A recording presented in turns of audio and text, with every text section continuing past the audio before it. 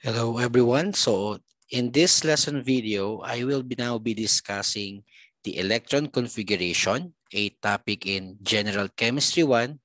Okay, so ito po ay subject na tinitake ng STEM for grade 11 senior high school STEM students. And let's begin our lesson. So let us talk about electron configuration. Okay?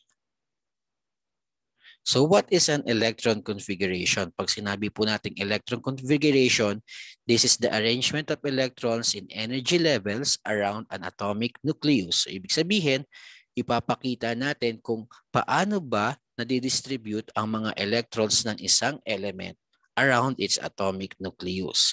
So the electron configuration, meron tayong arrangement or fixed arrangement ng electron configuration na tutulungan tayo maintindihan or maki, uh, ma, para malaman natin how electrons are distributed around the atomic nucleus. So, you can see this pattern or this arrangement sa inyong mga periodic table of elements. So, you have 1s, 2s, 2p, 3s, 3p, and so on hanggang 7s. So, pwede pa po ito lumagpas hanggang 7S pero for the sake of discussion, hanggang 7S, 7S lang po muna tayo ngayon. Okay po. So, how do we do this? So, as you can see here, may makikita kayo na parang mga exponent-like numbers. For example, these two here, para sa S, okay? And then you have also 6 para sa P.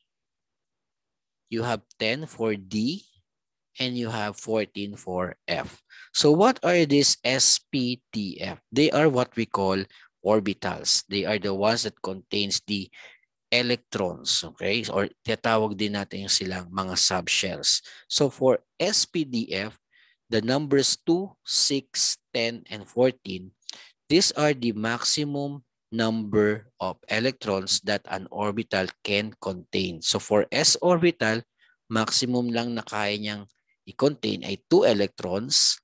For p orbitals, 6 electrons.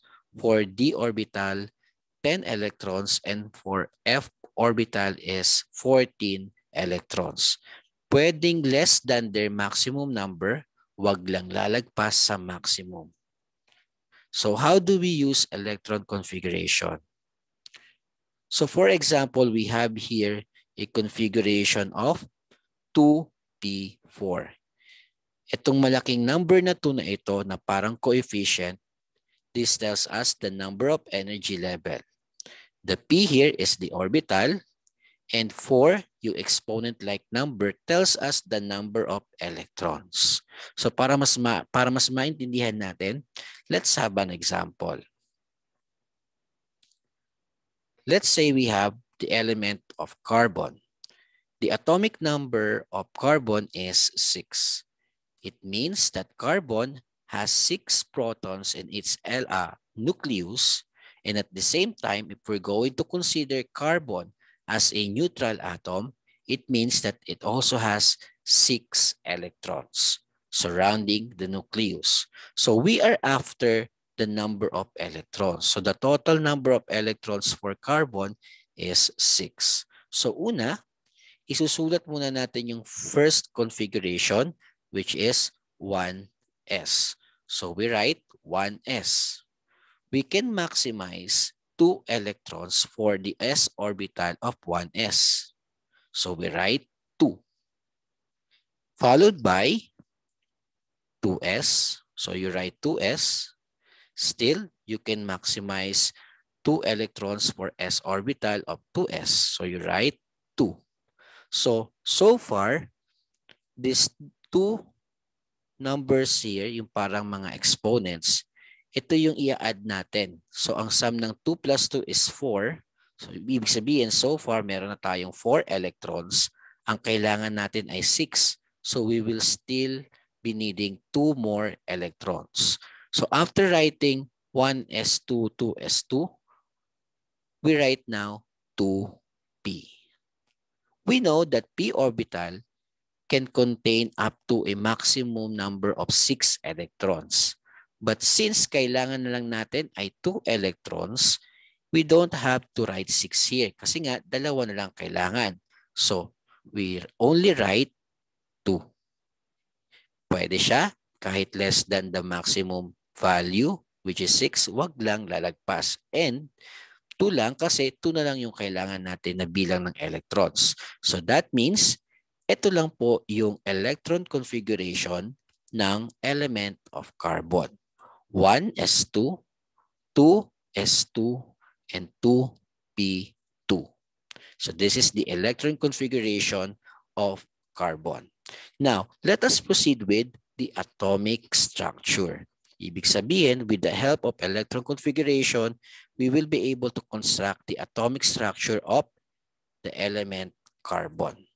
So as you can see here, ang pinakamalaking number na makikita natin dito doon sa mga coefficient-like numbers ay 2. Ito po.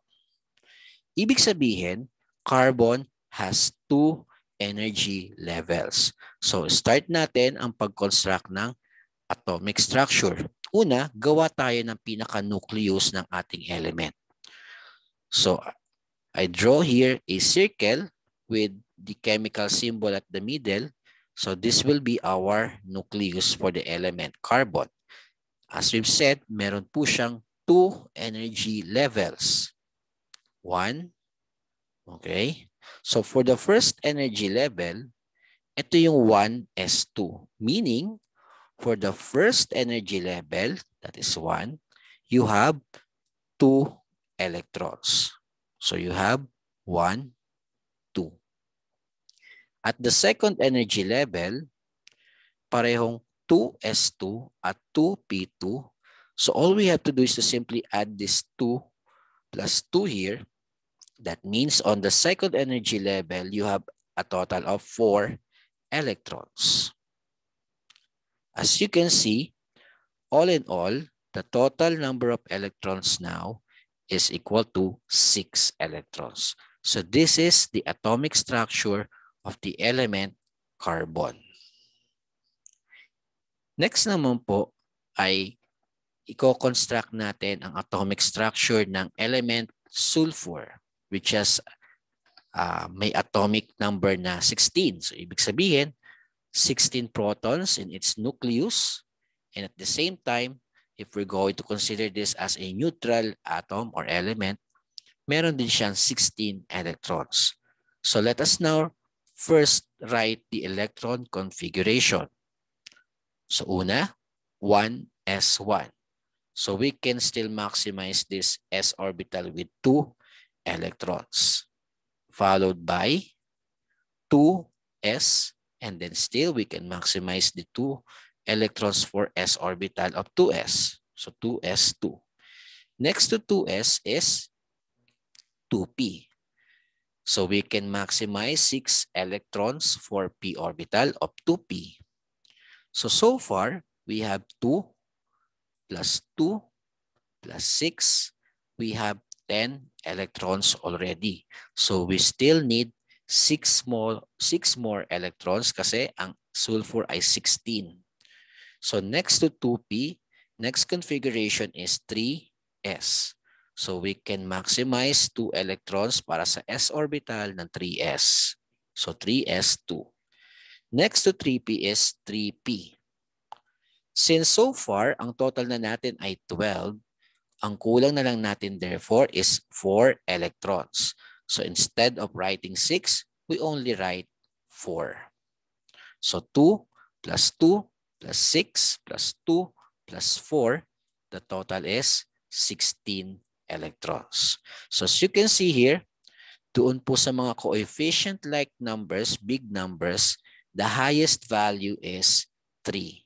Meaning, sulfur will have 3 energy levels. So punta muna tayo sa nucleus. So this is the nucleus of our element sulfur. Punta tayo sa first energy level. For the first energy level, meron siyang dalawang electrons. And then on the second energy level, you have 2s2 and 2p6. So we add 2 plus 6. That means on the second energy level of sulfur, we have 8 electrons. And then on the third energy level, you have 3s2 and 3p4. So we add 2 and 4. That means on the third energy level, we will be having 6 electrons. So this is now the atomic structure of sulfur with an atomic number 16. Let's now try iron. So ang atomic number po ng iron ay 26. So ibig sabihin may 26 protons sa kanyang nucleus and at the same time 26 electrons surrounding the nucleus. So let us now write the electron configuration of iron. 1s, 2. 2s, 2. 2p, 6. So, so far, we have a total of 10 electrons. So, kailangan pa natin ng 16. Next to 2p, next configuration is 3s, 2. Followed by 3p, 6. Then followed by 4s, 2. So all in all, meron na tayong 20 electrons. And next, you have 3d. Ang maximum ng d orbital ay 10, pero kailangan na lang natin ng 6, so we write 6. So you have 1s2, 2s2, 2p6, 3s2, 3p6, 4s2, and 3d6. Now, as you can see here, the highest value to sa mga malalaking number, the coefficient-like numbers is 4. Meaning, iron will have 4 energy levels. So let us now draw the uh, atomic structure of iron. So you have the nucleus of the iron. On the first energy level, you have 1s2. So it means 2 electrons on the first energy level. On the second energy level, we have 2s2, 2p6. So total of 8 electrons on the second energy level. On the third energy level, as you can see, you have 3s2 and 3p6. 3s2 and 3p6, so that means 8 electrons. Next to 3p6 is 4s2, the last energy level, the fourth energy level with 2 electrons. But then, we still have one more configuration, that is 3d6. So it means that babalik tayo sa third energy level and then we're going to add another 6 electrons at the third energy level. So we add 6 electrons to our third energy level. So all in all, meaning on the third energy level of iron, it has a total of 2 plus 6 plus 6, a total of 14 electrons. So this is how we construct the atomic structure of elements with the help of electron configuration. So thank you very much for watching this lesson video discussing a topic in Chemistry 1 about electron configuration and constructing atomic structure. So see you again next time. Thank you very much and God bless everyone.